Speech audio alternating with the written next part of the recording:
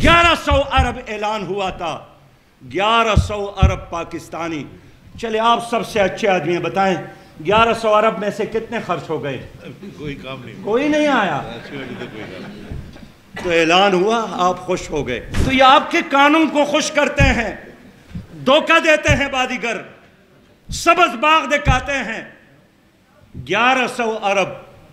लेकिन आज भी मैन कराची रोड को छोड़कर इधर उधर जाएँ मुंजडारों के कंडरात।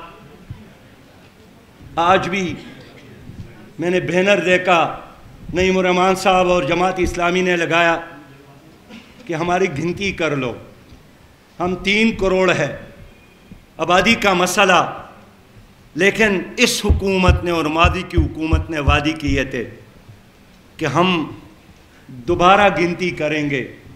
कितने महीने गुजर गए? लेकिन ये अपने काम में मुखलिस नहीं थे।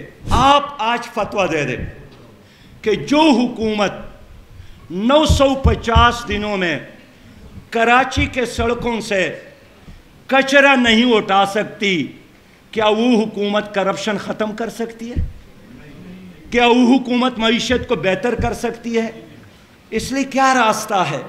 दिन मनाना है तो मैंने भी कराची के हक़ में बहुत बड़ा योम यकजहती कराची का जुलूस निकाला इस्लामाबाद में।